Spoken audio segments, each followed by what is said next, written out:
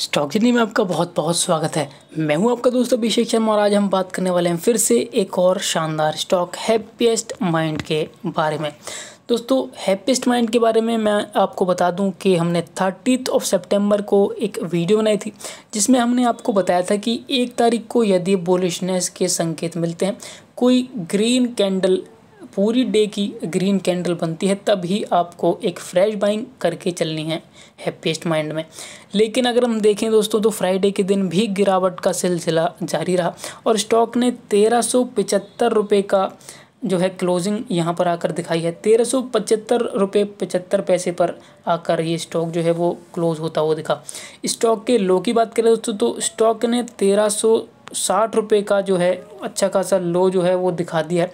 और लगातार bearish zone में अभी ये ट्रेड करता हुआ हमें दिख रहा है।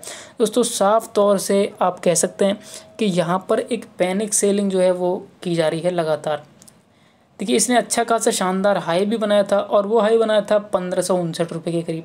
लेकिन फिर देखिए, लगातार एक पैनिक सेलिंग यहाँ से की जा रही है। तो यहाँ पर हमें क्या करना चाहिए, क्या अपनानी चाहिए हमें यहाँ पर रणनीति? दोस्तों, बिल्कुल रणनीति साफ़ है।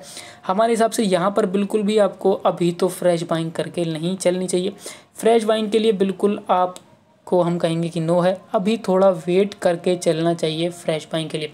या तो ये और निचले लेवल पर अगर हमें मिलता है तो बिल्कुल हम अपने पोर्टफोलियो में इस स्टॉक को ऐड कर सकते हैं। लेकिन इस लेवल पर अभी हमको वेट करके ही चलना चाहिए।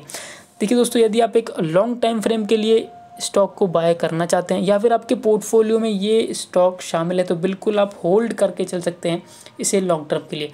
लॉन्ग टर्म के लिए बिल्कुल इसे कंटिन्यू टू होल्ड रखें, बिल्कुल भी सेल ना करें। लेकिन यदि आप शॉर्ट टाइम फ्रेम के लिए ट्रेड करते हैं, आप एक स्विंग ट्रेडर हैं तो अभी आपको वेट करना चाहिए इसमें फ्रेश बाइंग करने के लिए। तो यही रणनीति आपको अपनानी है इस समय हैप्पीएस्ट माइंड स्टॉक में। आप चाहें तो अपनी खुद की एनालिसिस थोड़ी बहुत, अपनी खुद की रिसर्च भी करें, तभी कोई डिसीज़न लें। दोस्तों, यही बताने के लिए हमने वीडियो बनाई थी। यदि आपको हमारी वीडियोस पसंद आती हैं तो प्लीज़ लाइक करें शेयर करें और सब्सक्राइब करें। इसी प्रकार की जो भी अपॉर्चुनिटीज़ होंगी या रणनीतियाँ होंगी, हम लाते रहेंगे आपके लिए। वीडियो देखने के लिए बहुत बहुत धन्यवाद।